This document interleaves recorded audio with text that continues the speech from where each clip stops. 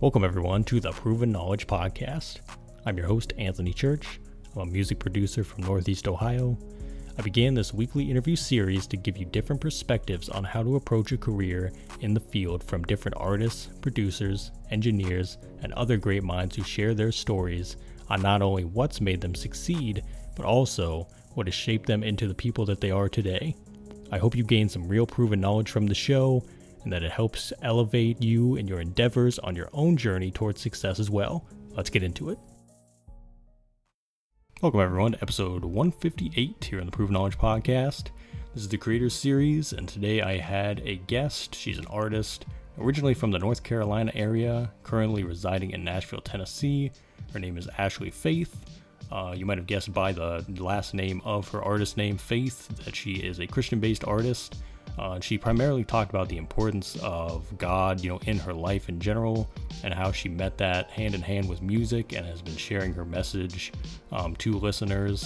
She talked about, you know, before being in a group um, and kind of doing things that way before breaking off on her own to be a solo artist, really being at it now, um, originally since 09, but more recently since 2017, doing the solo thing.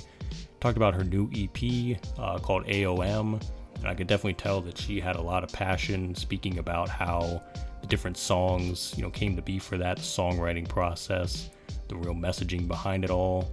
Um, and I'm definitely looking forward to seeing what she has to come next. We also talked about, you know, avoiding burnout as an artist, as a creative, uh, finding that balance. She works as a real estate agent um, and also is an artist and does all kinds of other things too. So for her, you know, keeping schedules, uh, allowing herself free time, very important things. And I thought that was a great, um, you know, discussion that we had in this episode. And overall, I'm just happy that I was able to connect with Ashleigh this week and have this incredible discussion for all you guys to hear. So without further ado, let's get into this one. Welcome, everyone, to episode number 158 here on the Proven Knowledge Podcast. This is the Creators Series. Today I have a great artist. Uh, she's currently in the Nashville area, originally from North Carolina. Uh, Ashleigh Faith is here. Welcome to the show. Hey, what's up, guys? Thank definitely. Yeah, no, no problem. I'm definitely excited. I know we've talked about it for I think like a month or so now, um, and so yeah, yeah, I'm definitely definitely excited to have you on here. And, and to start off every episode, we have the guest give some background you know, how long have you been doing music? How did you get into it? Some basic information for those that might not know you and what you do. Gotcha. Yeah, so my name is Ashleigh Jackson. Um, artist name is Ashleigh Faith. Um, yeah, originally from Greenville, North Carolina. Um, live in Nashville, Tennessee now. Um, 29. And I'm, I'm basically a Christian um, rap artist. Um, so I love God and music. Mm. Um, and yeah, I just make music for uh, Christians or new believers or people that want to convert um, and try to um, uh, keep God in in my concepts, and mm-hmm. but also you know new, new generation music yeah. for. yeah. Um, but I started in 2009 making other types of music um, until I got closer to God in 2011. Mm-hmm.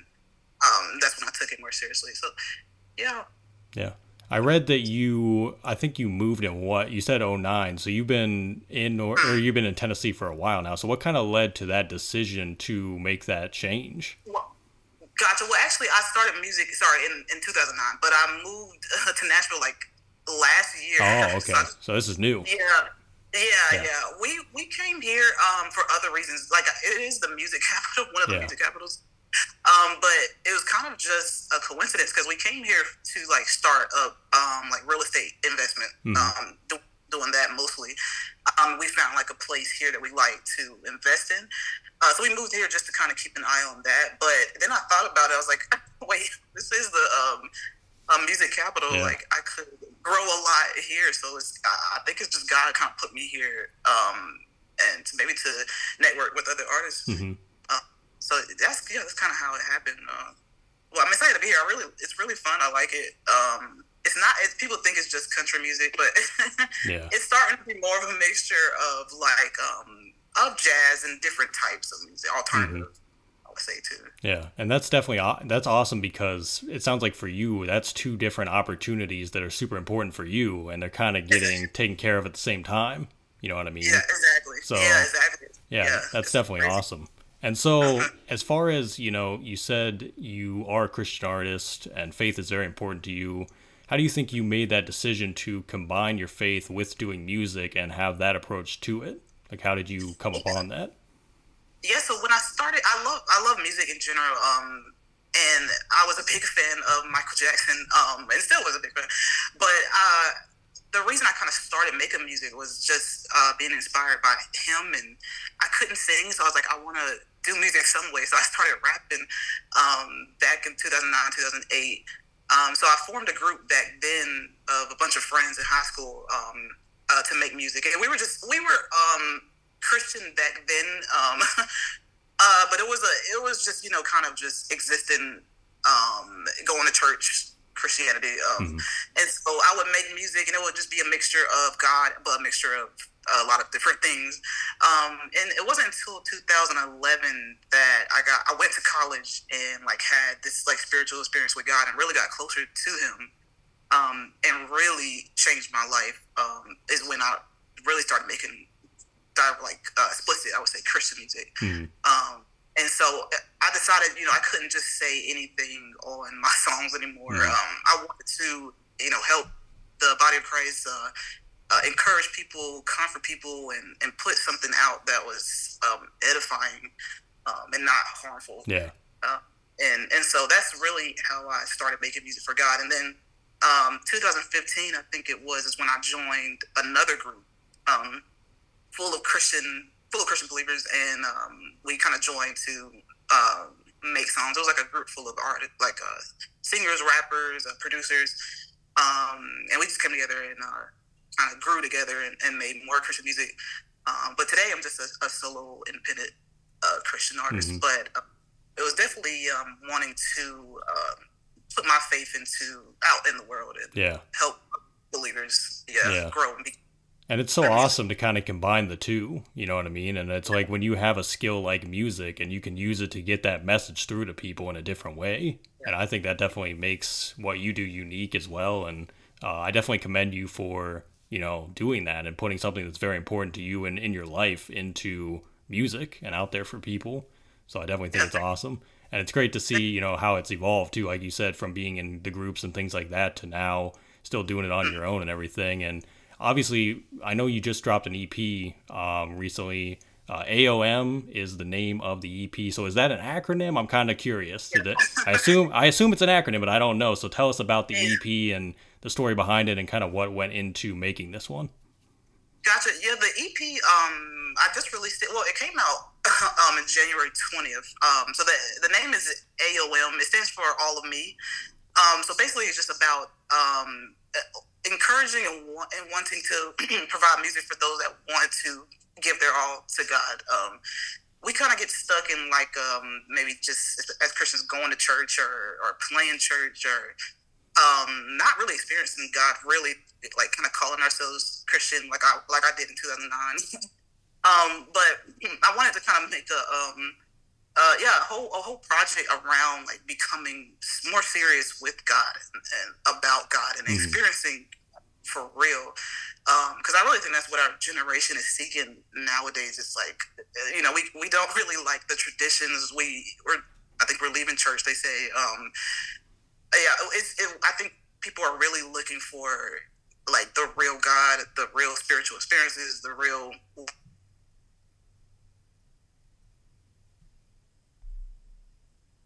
help people realize that you don't have to play church. You don't have to mm-hmm be a Christian and just um, you know, there's actual real benefits and a real a real relationship you can have with God. Um, and so every song kind of goes into to that um, that summary. Um, I think it's there's there's two songs called AOM because um, I had two versions of the song and I didn't know which to pick, so I just kind of put them both up there. Um, and they they basically talk about uh, what I, what I was just explaining, and then a song called "That's Amazing" that talks about God's amazing grace, kind of an ode to Amazing Grace, mm-hmm. um, which is one of my favorite songs. Um, and then there's a, a, Student of God song, which is um, a song that I wrote in 2017. Um, that song, uh, really, I really felt was from God. He, I wrote everything. I wrote the song. I had the beat um, already, and I wrote the song, but I felt he wanted me to delete everything I had. Um, and so so I was I had finished the song and I deleted, but I mean I finished the song and I felt he wanted me to delete everything. So I was like, okay, maybe he wants me to um, write something else. So I ended up deleting everything I wrote, and then as soon as I did, it's like he he really took over and just I was freely writing a whole new verse um, for this song, and the everything I wrote is kind of um, it kind of starts from the beginning of the Bible and, and moves towards Revelation. So it really felt spirit led um, writing that one, and it's a song with with no um, uh, choruses, so it just kind of it just I'm just rapping and kind of uh, explaining the Bible, I think, a little bit in that song. Um, so people want to go listen to that one. It's kind of, uh, I think, spirit led and uh, detailed yeah. biblical song. Um, but so there's that one, and then there's another one that I really also felt was led by him, which was called um, "Sanctify." Um, and most, a lot of people, I think, really like that one off the project. Um, and I, I, felt him picking the uh, beat as well. I think at first I wasn't going to actually do that song, but I kind of felt a nudge to not um, give up on that one, and um, it ended up being like the main one people talk about. Um, and so, I, and that one's about um, wanting to be wanting to be sanctified, wanting to be um, obedient to the word, obedient to God, and um, living a life for Him. people that desire that. yeah especially our age when you don't think that's possible. Um, just kind of encouraging people that you can you can do that with the help of the Holy Spirit.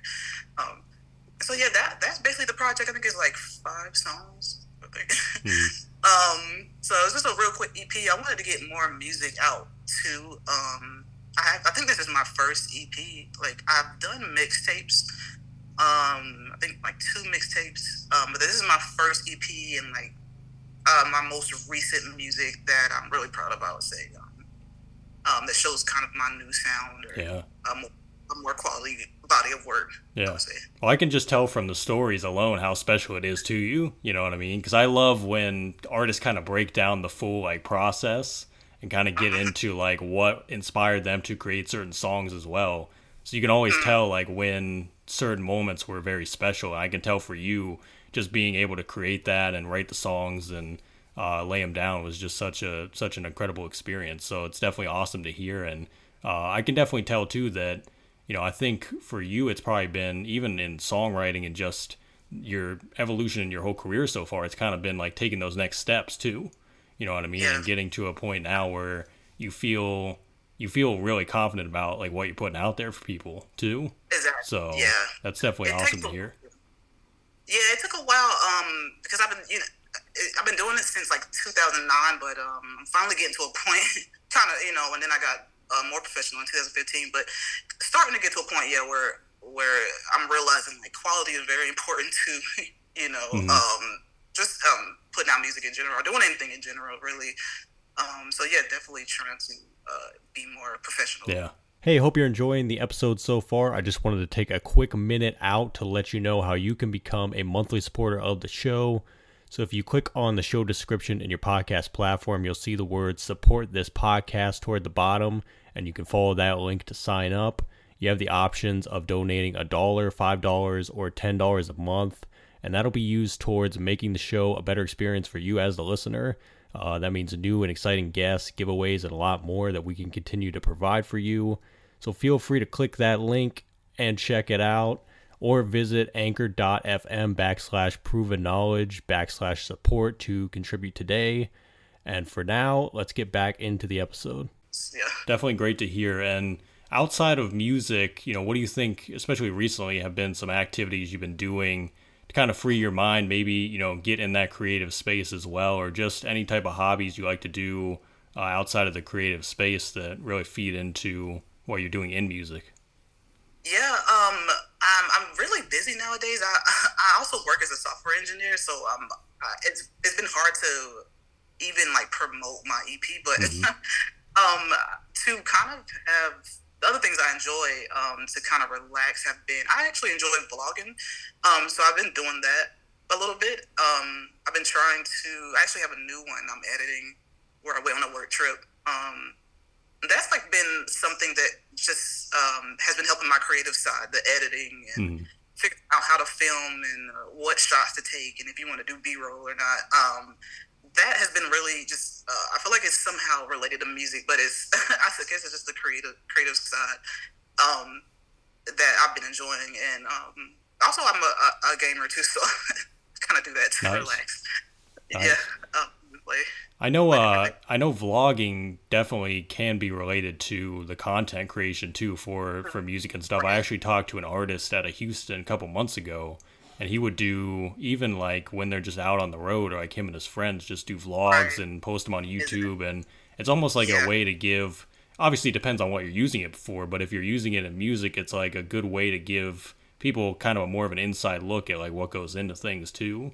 And there's even like there's even like doing um, like behind the song or behind like whatever you know you're creating and things like that. So it's definitely, um, I think it's definitely always related, especially in the era we're in now, where where content is just so important, and obviously yeah. like being on social media and stuff. And I can imagine yeah. having to juggle all that and then keep up with you know social media and music. That's got to be difficult. Yeah. So yeah, it's, yeah, vlogging has really helped in that sense because you do have to be a content creator nowadays. Mm-hmm. Um, as an as an independent artist. Um, and so I've, I've been actually trying to um, put out more like uh, you know parts of different songs as TikToks or mm. reels, uh, and um, and um, yeah, and actually, and actually behind the scene, behind the music, I've actually been trying to film some of those recently too, um, behind the scenes type of things. So yeah, you do have to be good with the camera, I guess, or yeah. with editing. Yeah, it, I think it's just like anything else too. Even when like when we start out on music, we got to learn some things. We got to like get good at it. I, I always felt it was the same way with this stuff.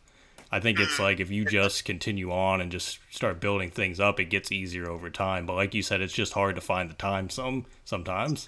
So yeah, yeah, exactly. I'm trying to um, organize more now mm-hmm. and, and, make actual task lists. And yeah, actually felt to actually schedule breaks as well because you can. I think in the beginning when I was uh, promoting AOM, I kind of I think I, I burnt myself out, yeah. um, and I haven't done anything in a, a, while because of that. So I think it's it's good to schedule breaks, yeah. actual.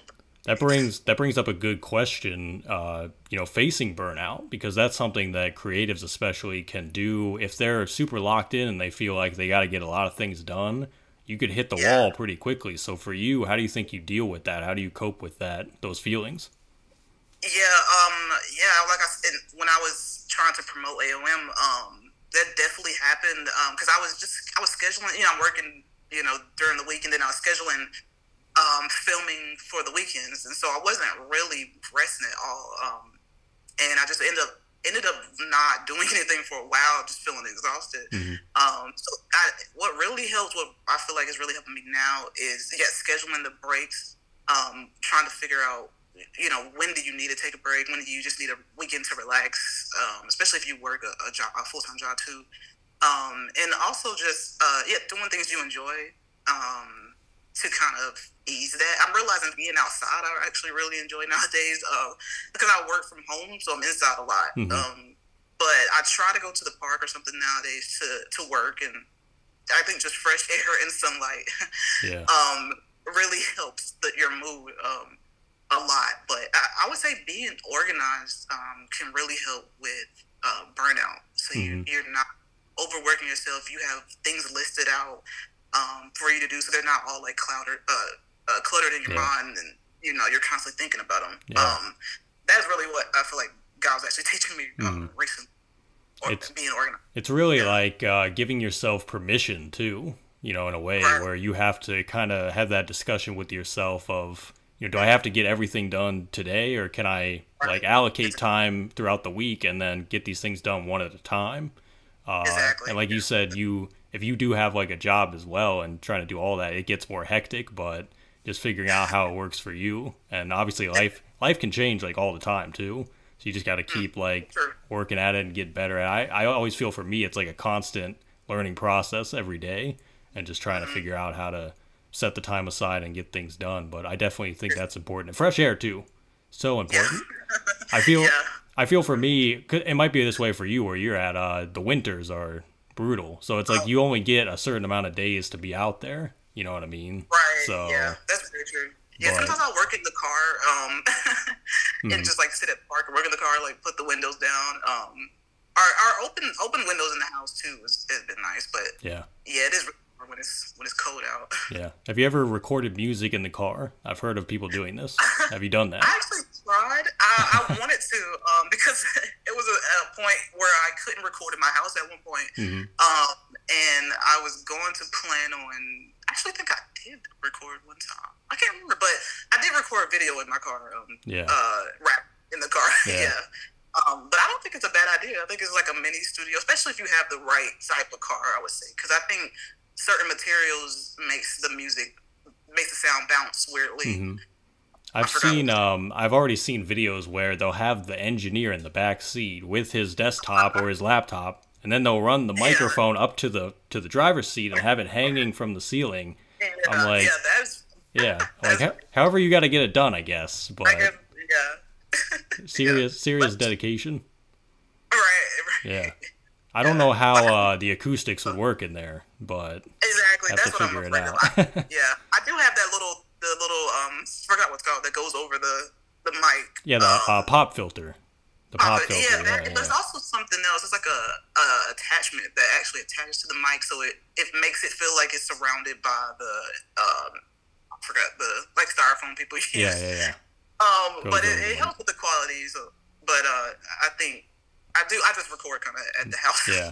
I, th- I think it's easier. I also like space. I don't like to be all like crammed Right. into a, a vehicle Yeah. myself, but to each their own, I guess. But definitely interesting stuff.